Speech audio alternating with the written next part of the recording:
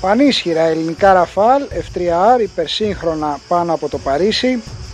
Αποκαλυπτικές εικόνες δίνει ο κολοσσός της Naval Group από το Λοριάν, τα ναυπηγεία όπου βλέπουμε ότι προχωρούν οι εργασίες ναυπήγησης της πρώτης ψηφιακής φρεγάτας FDI-HN Belharra του ελληνικού πολεμικού ναυτικού.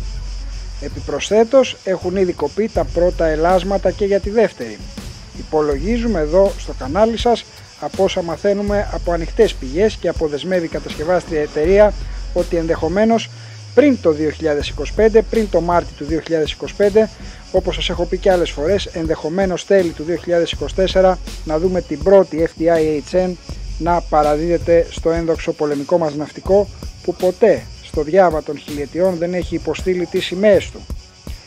Πέραν αυτού, ο Υπουργός Εθνικής Άμυνας, ο αικίνητος Νίκος Παναγιοτόπουλος, σε ανάρτησή του στα μέσα κοινωνικής δικτύωσης, αναφέρθηκε ακριβώς στο γεγονός ότι ραφάλ της 332 μοίρας της πολεμικής αεροπορίας πέταξαν πάνω από την πόλη του Φωτό στο Παρίσι στα πλαίσια της εθνικής εορτής της Γαλλικής Δημοκρατίας. Τίμησαν την επέτειο δηλαδή της Βαστήλης στο μήνυμά του, ο Νίκος Παναγιωτόπουλος τόνισε ότι τιμούμε τη 14η Ιουλίου της Γαλλίας, μιας φίλης συμμάχου και εταίρου χώρας, με την οποία πρεσβεύουμε και υπηρετούμε κοινές αξίες και αρχές.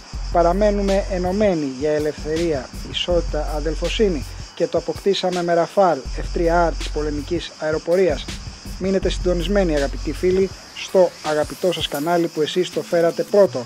Μην ξεχνάτε τη συνταγή like, εγγραφή στο κανάλι, κοινοποίηση στα μέσα κοινωνικής δικτύωσης. Αναμένω τα επικοδομητικά και επί του θέματος σχόλιά σας. Καλό βράδυ σε όλους.